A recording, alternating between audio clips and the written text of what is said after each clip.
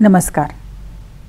इतिहास म्हटले की खरं तर राजे रजवाडे लढया तह तलवारी आणि भुयारेच आठवत राहतात.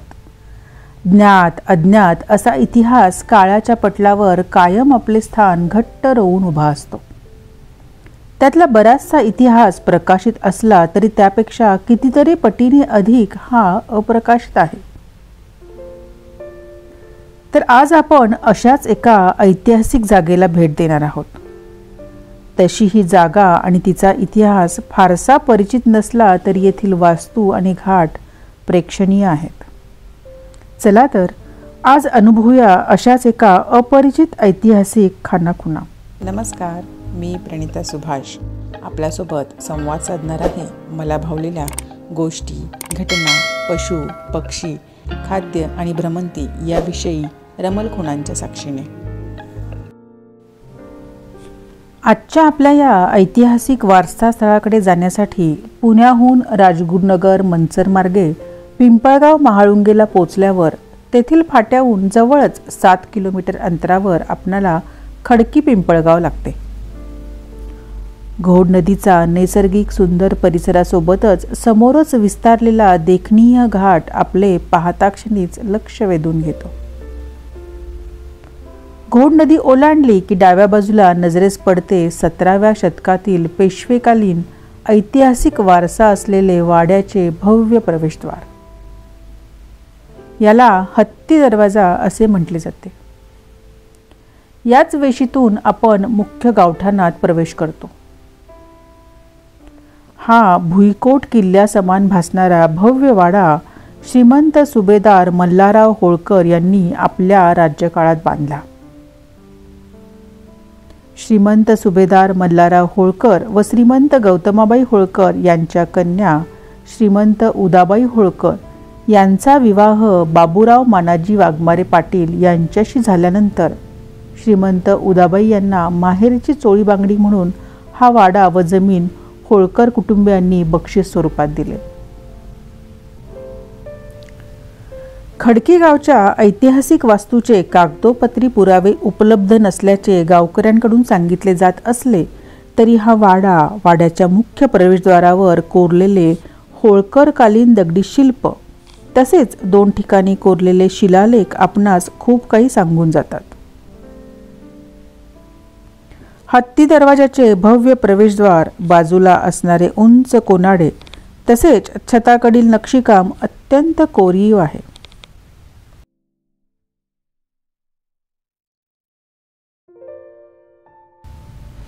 प्रवेशद्वाराच्या वरती जाण्यासाठी पायऱ्या असून वरतून आजूबाजूचा प्रदेश निसर्ग सहजपणे न्याहाळता येतो. त्याचप्रमाणे गावाकडील भाग पण व्यवस्थित पाहता येतो. सुरक्षेच्या दृष्टीने उभारण्यात आलेला हा प्रवेशद्वार अजूनही आपले अस्तित्व टिकवत दिमाखाने डोलत उभा आहे. प्रवेशद्वार वगळता आजूबाजूच्या तटबंदीच्या भागाची पडझड झालेली आढळून येते. तरी देखील या वाड्याचा विस्तार खूप मोठा असल्याच्या खुणा आपणास जागोजागी दिसून येतात.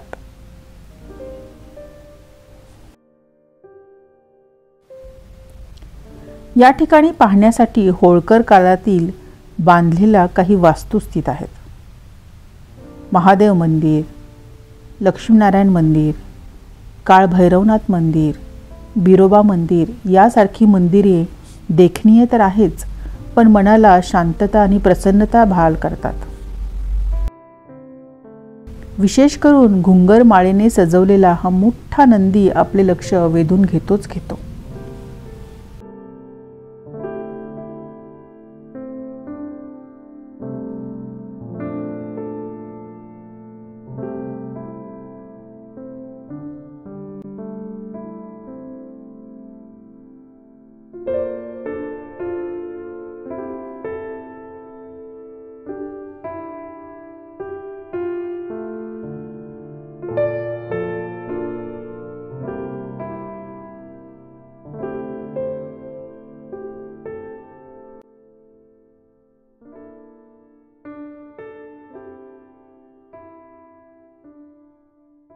मुळातच खडकी गाव घोड नदीच्या उत्तर किनाऱ्यावर वसलेले असल्याने येथील नैसर्गिक सुंदरता पाहण्यायोग्य असून हा भूभाग कृषीप्रधान आहे. खडकी गावातून फिरता फिरता आपण आता निघालो आहोत नदी घाटावर. घाटावर जाण्याआधी आपणाला होळकरकालीन स्थापत्यशास्त्राचा उत्तम नमुना असणारी समाधी पाहाव्यास मिळते. श्रीमंत सुभेदार बल्लारराव होळकर यांचे नातू अवचितराव वाघमारे पाटील म्हणजेच श्रीमंत उदाबाई आणि बाबूराव मानाजी वाघमारे पाटील यांचे पुत्र. यांनी पितृ उत्तरातीर्थ बांधलेली समाधी आखीव रेखीव शिल्पात उभारली असून ही समाधी होळकरकालीन स्थापत्यशास्त्राचा उत्तम नमुना आहे. या समाधीच्या नक्षीकामामध्ये मराठा आणि राजपूत कलाकृती एकत्रित दिसून येते. तसेच या समाधी गर्भगृहामध्ये एक महादेव पिंड असून समाधी स्थळावर होळकरकालीन शिलालेख नजरेस पडतो. छत्रीरुमा समाधीवर असलेल्या शिलालेखाचा उल्लेख पुढीलप्रमाणे सहज वाचता येतो.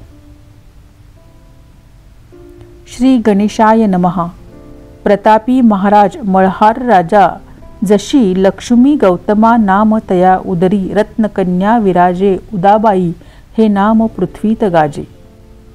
सके सतराशे अकरा सौम्य नाव संवत्सरे चौत्र शुद्ध नवमी. मंद वासरे ते दिवसी बाबुराव वल्द. मानाजी पाटील वाघमारे मोकदम तक्षीम दिड मौजे खडकीतर्फे महाळुंगे तस्य भार्या उदाइया. पुत्र अवचितराव पाटील वाघमारे यांनी पितृ उद्धरार्थ पललोक साधनार्थ छत्रीचे काम केले.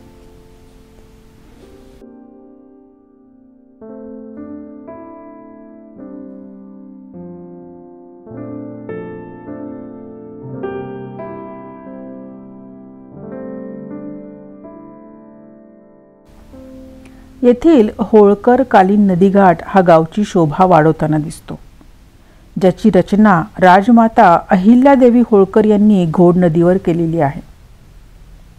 पिंपळ गावातील उत्तरेकडील नदीकाठावरून आपणाला या घाटाचे अप्रतिम सौंदर्य नाहाळता येते. नदीघाट वेशीतून आपल्याला पायरी मार्गाने नदीपात्रात उतरता येते.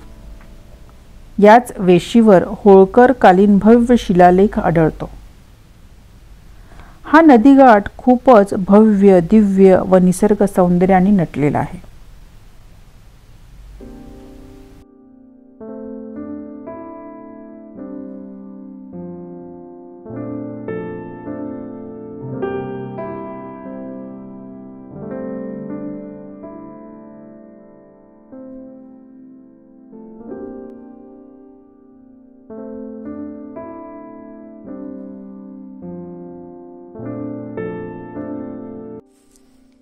येथील होळकरकालीन वास्तूंमुळे या गावास पर्यटनाचा दर्जा प्राप्त झालेला आहे.